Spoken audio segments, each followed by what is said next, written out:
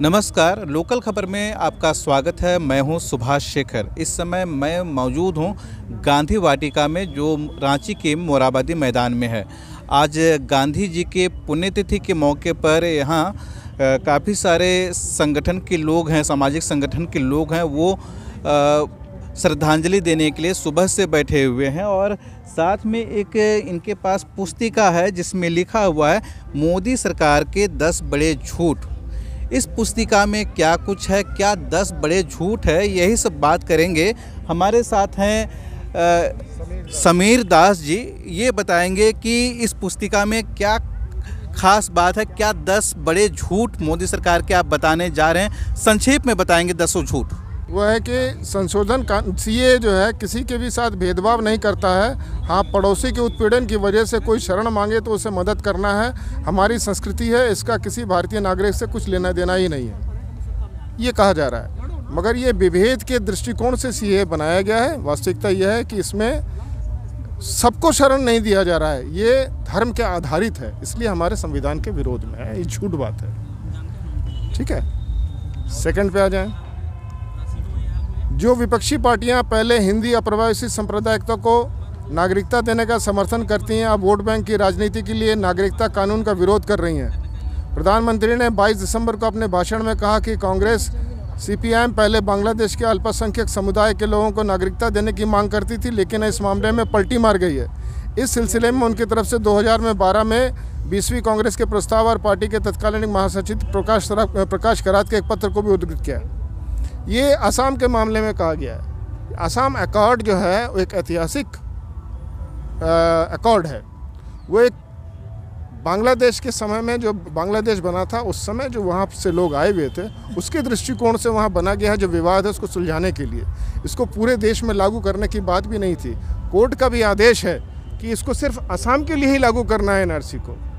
परंतु ये झूठ बात है कि इसको पूरे देश के लिए लागू करने के लिए सब लोग राज़ी हो गए हैं, ऐसा नहीं है। ये झूठ बात है।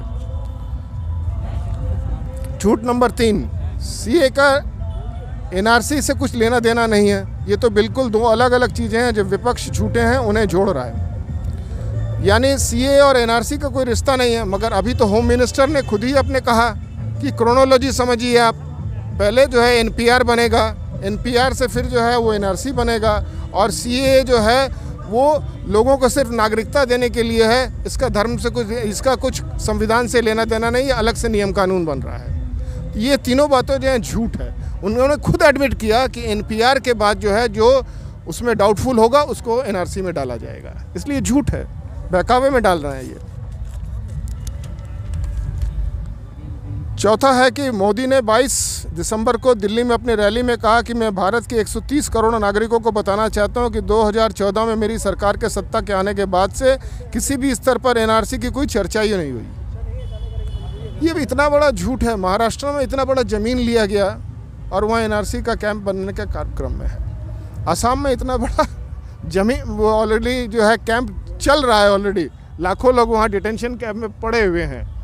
पश्चिम बंगाल में जो है, वो भी वहाँ पर जो अभी अब तो विरोध चालू हो गया, नहीं तो वहाँ भी ज़मीन की तलाश होकर सेटल हो रहा था। इस तरह से तमाम जगहों पर जो है, बोला जा रहा है कि आपको कैंप डिटेंशन कैंप बनाना है। और ये कहते हैं कि एनआरसी हमको नहीं, की चर्चा नहीं हुई। तो ये बहुत बड़ा झूठ है, फरेब है हमारे देश के जनता के साथ में। पांचवा झूठ है कि मोदी उनके मंत्रिमंडल साथी, उनके पार्टी प्रवक्ता, मोदी मीडिया के, गोदी मीडिया के, उनके वफादार विपक्ष पर झूठा प्रचार करने का आरोप लगा रहे हैं और दावे कर रहे हैं कि एनआरसी की प्रक्रिया को तो अभी कोई कानूनी रूप दिया ही नहीं गया है। गृह राज्य मंत्री श्री किशन रेड्डी ने कहा, अब तक देश देशव्यापी एनआरसी को अधिसूचित नहीं किया गया है और किसी को डरने की भी ज़रूरत नहीं है। झारखंड में चुनाव के समय में यहाँ पर आठ बार प्रधानमंत्री आए हैं और अमित शाह खुद आए हैं। और हर जगह पर वो डंके की चोट पे बोल के गए हैं कि हर जगह पे पूरे देश में एनआरसी लागू होगा। एक तरफ़ ये बोलते हैं और एक तरफ़ बोलते हैं कि एनआरसी नहीं होगा। तो कितना फरेब कीजिएगा आप छत में आपका राष्ट्रवाद चल रहा है छत में भाषण चल रहा है, जनता को बरगला रहे हैं आप। छठा है, एनआरसी प्रक्रिया तो शुरू ही नहीं हुई है, इसके लिए कोई अधिसूचना जारी नहीं हुई। एनआरसी अगर शुरू ही नहीं हुई तो इतने लोगों को अपनी डिटेंशन कैंप में क्यों डाला? और उससे फिर आप कोर्ट से जब आपको चाबुक पड़ा, तब आप उसमें से छांट के निकाल रहे हैं, फिर भी नहीं कर पा रहे हैं। इतना उलझा के रख दिया है कि देश की जनता को परेशान करके छोड़ दिया है और आप कहते हैं कि इसकी तो कोई अधिसूचना ही जारी नहीं हुई। कितना झूठ बोलिएगा? गोली मार दीजिएगा, उसके बाद बोलिएगा कि आदमी को तो हम छुआ ही नहीं हमने। ये तो उस तरह से बोलने का हुआ। सातवां झूठ है, अमित शाह का दावा है कि एनपीआर और एनआरसी से कुछ लेना ही देना नहीं है। ये दावा अतिरिक्त सवालों के साथ एनपीआर को अद्यतन बनाने के लिए केंद्रीय मंडल के निर्णयों की पृष्ठभूमि में किया गया। केंद्रीय सूचना व प्रसारण मंत्री प्रसाद जावड़ेकर ने कहा कि राष्ट्रीय आबादी रजिस्टर सिर्फ़ जनगणना के मकसद के लिए है। इसका एनआरसी या नागरिकता से कुछ लेना देना नहीं है। फिर विपक्ष क्यों कह रहा है कि इसके भारतीयों की नागरिकता पर कोई असर पड़ेगा? अब देख लीजिए, जावड़ेकर एक तरह का बोल रहे हैं और हमारे जो गृह मंत्री हैं एक तरह का बोल रहे हैं। गृह मंत्री बोल रहे हैं कि एनपीआर होगा और एनपीआर में जो जो डी ग्रेड में आएगा डाउटफुल वो एनआरसी में जाएगा।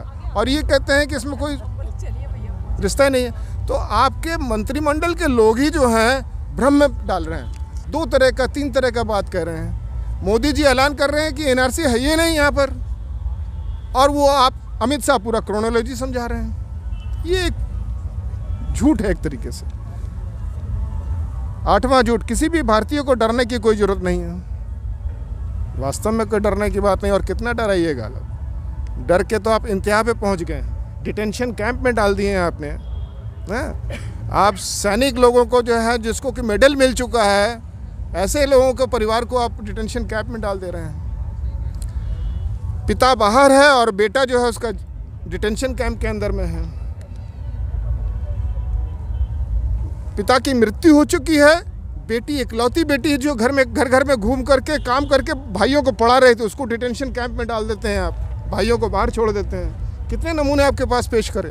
झारखंड के भाई लोग जो वहाँ पर काम करने के लिए चाय बगान और विभिन्न जगहों पर गए हैं वहाँ पर, मजदूरी करने के लिए, या सरकारी नौकरी में भी, अब उनको डिटेंशन कैंप में डालने की तैयारी, उनकी नौकरी चली जाएगी। कितना आप सताइएगा? डरेगा नहीं तो क्या करेगा आदमी? अगर डरता नहीं या डरता नहीं तो उसके खिलाफ में खड़ा नहीं होता। आज हिम्मत ही है हमारे देश की जनता, जो इस डर को तोड़ करके आगे बढ़ रहा है और इतना लाखों लोग जो है, करोड़ों की संख्या में रोड पे उतर कर आ गया है। माताएँ, बहनें बात को समझ करके रोड के ऊपर आ गई हैं। डरा तो सही में कोई नहीं है, मगर मुकाबला कर रहा है। ये तो बात सही है। नौवा झूठ है कि मोदी ने कहा कि देश में कहीं भी कोई डिटेंशन सेंटर है ही नहीं। इसका जवाब मैं दे चुका हूँ। आप लोग अखबार वाले हैं, आप लोगों को बढ़िया से मालूम है। डिटेंशन सेंटर ऑलरेडी रन कर रहा है असम के अंदर। तीन जगहों पर और डिटेंशन कैंप के लिए करोड़ों रुपए का जो है वो बजट दे दिया गया है ऑलरेडी ज़मीन अलॉट हो गई है, वहाँ बन रहा है बढ़िया से। और डिटेंशन कैंप जो है, एक चीज़ मैं साफ़ कर दूँ डिटेंशन कैंप और कंसंट्रेशन कैंप में बहुत फ़र्क नहीं होता है। डिटेंशन कैंप अगर सौ लोगों के लिए बना है, वहाँ पे जिस समय आप पाँच हज़ार लोग को डाल दीजिएगा तो अपने आप वो कंसंट्रेशन कैंप में बदल जाएगा। वहाँ की इतनी बदहाली हो जाएगी वहाँ पर कि स्वास्थ्य और किसी चीज़ का कुछ रहेगा नहीं और वो कंसंट्रेशन कैंप में तैयार हो जाएगा, मरने के लिए बाध्य हो जाएगा आदमी।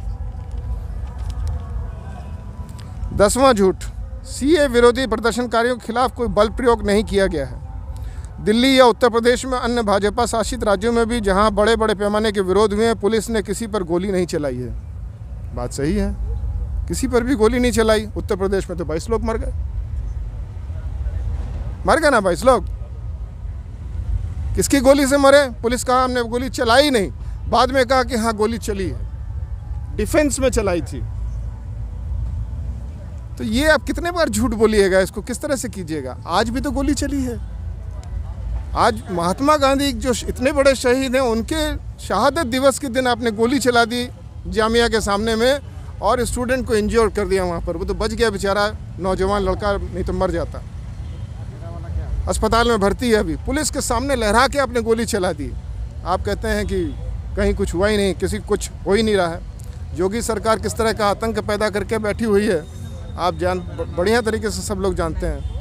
इसका भी प्रमाण मिल चुका है कि पुलिस ने तोड़फोड़ किया है, पुलिस ने संपत्ति का वहाँ पर नुकसान पहुँचाया और पुलिस ने ही केस दोबारा लागू कर दिया उसके ऊपर कि तुम, ये तुम्हारी ये संपत्ति जो है, तुमने संपत्ति तोड़ी है। इसका क्या जवाब दे सकता है कोई? जवाब दे रही है जनता रास्ते में उतर करके बढ़िया से जवाब दे रही है। यही एक सच है इसका। इतनी बातें, झूठ बातें जो हैं, इसके बारे में हमने आपको बताया। जी, ये हैं मोदी सरकार के दस झूठ नामक पुस्तिका के जो हैं मुख्य पॉइंट। और ये जो पुस्तिका है, दो भाषाओं में है, दो प्रमुख भाषाओं में है, हिंदी में है और इंग्लिश में है। इन बातों से आप कितने सहमत हैं और इनमें क्या कहना चाहते हैं, आप हमारे चैनल के इस पोस्ट के कमेंट बॉक्स में अपनी बातें कह सकते हैं और अच्छा और इसको ज़्यादा से ज़्यादा आप चाहें तो शेयर भी कर सकते हैं। आप देखते रहिए लोकल खबर।